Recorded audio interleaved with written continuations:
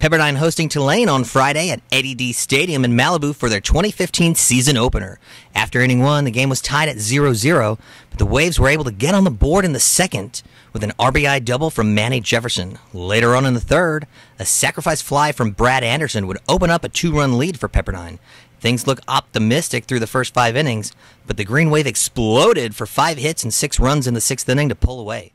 Tim Yandell and Grant Brown each had two home runs in the game for Tulane, and Jake Rogers went three for four at the plate. Pepperdine would drive in a final run with a pinch hit single up the middle, but Tulane would take the ball game as the Waves fall nine to three in their season opener.